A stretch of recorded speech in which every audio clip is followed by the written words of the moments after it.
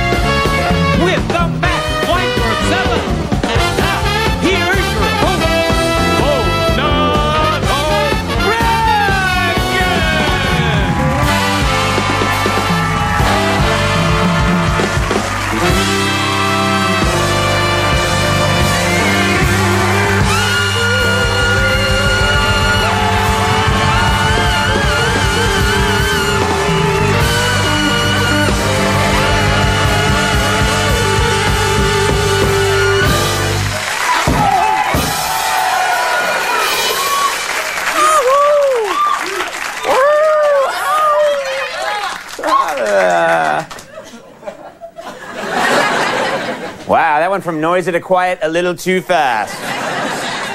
It's like we have the audience on tape and the tape broke. No, we have a uh, incredible show tonight. We have. I can't get used to this camera being here. um, we have. Be quiet. We have an incredible show tonight, an amazing show. Great guests are here. We've never done that before, and uh, we have great comedy. We're going to try that just tonight. I showered, I shaved, we're ready to go. Much to talk about here at the top of the show. President Bush, of course, keeping busy. I don't know if you know this, but yesterday, true story, President Bush toured parts of Missouri that were devastated by a recent tornado. Toured them, yeah. Yeah, there was one awkward moment when the president looked at the tornado damage and said, Don't worry, we're going to get whoever did this. a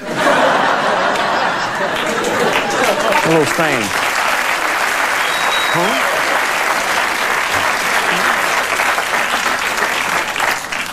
A, uh, a New York Times reporter, you might have read about this, a New York Times reporter who resigned after being accused of plagiarism may be paid as much as $1 million to tell his story in a new book.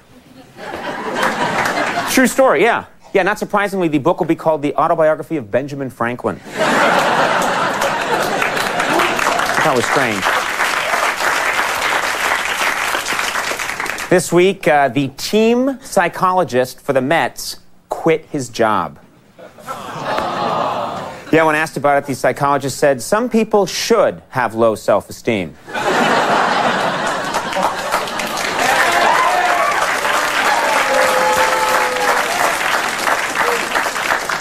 Well, I waited you out on that one. And people were like, I don't know. Well, all right. hey, this feels good. Um, gonna start rubbing myself more. Thank you. Wow. Uh, according to a brand new study, people who are obese spend an average of $700 more per year on medical expenses. That's a lot of money. Yeah, not only that, they also spend $700 more a year on Velveeta.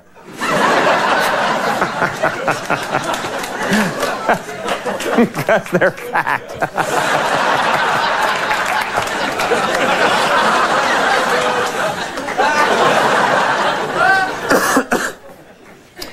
According to USA Today, and they're always right,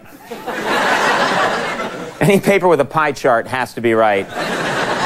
According to USA Today, Las Vegas has become the favorite destination for women to have wild bachelorette parties. Yeah, yeah, yeah. Yeah, and when they heard this, Siegfried and Roy said, There goes the neighborhood. It's actually a quote. There goes the neighborhood. Huh? Because they're fat. oh, wait, no. All right, well, anyway. You figure it out at home. I don't have time to figure it out. We got too much show tonight. You know our first guest tonight from his work on, I call the show ER, but you may know it as ER, one of the most popular shows of all time. Very popular actor. Anthony Edwards is on the show.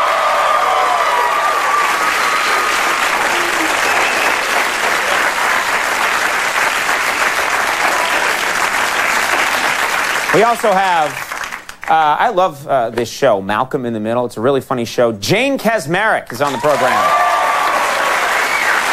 She's very funny. I'll bow to her. And then, very funny comedian Tom Papa is on the show. That, we're going to submit this show to some, no, we're not. Right over here, Jimmy Vivino and the Max Weinberg Show. Jimmy!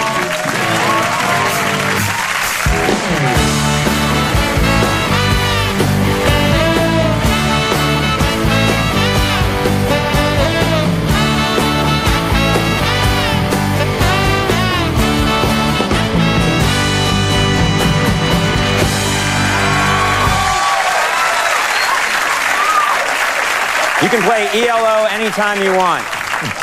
you can't go wrong with ELO. All right, so much to talk about tonight. And tonight, we're, um, correct me if I'm wrong, uh, Jeff, we're tight tonight. We got to cram a lot of show into a short t- amount of time. All right, that's good. if we cut to him, it must be true. Um, no, no, uh, so much to talk about here. Uh, tomorrow, big, big night for late night television. Tomorrow, uh, we are going to air an episode of Late Night that's entirely in clay animation. Not kidding about this either. I've had some people say to me, You're kidding about this, right? Not kidding about it. From beginning to end for an entire hour, me, uh, everything, the, all the guests will all be in clay animation. Uh, and I'll be honest with you, a lot of meticulous hard work went into making this show, especially into building the set. We had to recreate this set. And take a look at this right here. You can see this is the set for the clay animation show. It spent a lot of time. There's uh, Jason Chalemi working very hard on the Conan O'Brien figure. As you can see, it's incredibly lifelike. Looks a lot like the real uh, Conan O'Brien. There's the band right there, and of course, uh, yeah, there's the, and there I am uh, looking over like a pervert. It's going to be amazing. The whole show, amazing. And now, unfortunately, I have to tell you about a serious incident, something that went down, as the kids say. Uh, we're not proud of it, but last night, after the show was over and everyone had gone home, two of our interns snuck into our clay animation studio and started messing around. Luckily, our security camera caught the whole thing and we fired them, but it was not pretty. Take a look at this footage. It's really sad this would happen. There they are, and uh, that's just not. They are never going to work in this town again. If you see interns made of clay, do not hire them. That's my advice to you. All right.